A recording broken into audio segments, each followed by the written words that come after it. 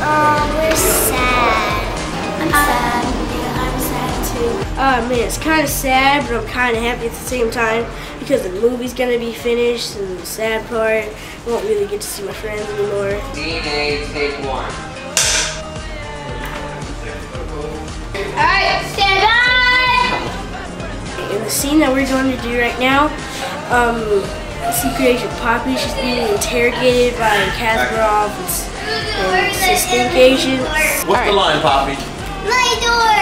My precious door! It's the director's job to set up the scene. It's the actor's job to bring it to life.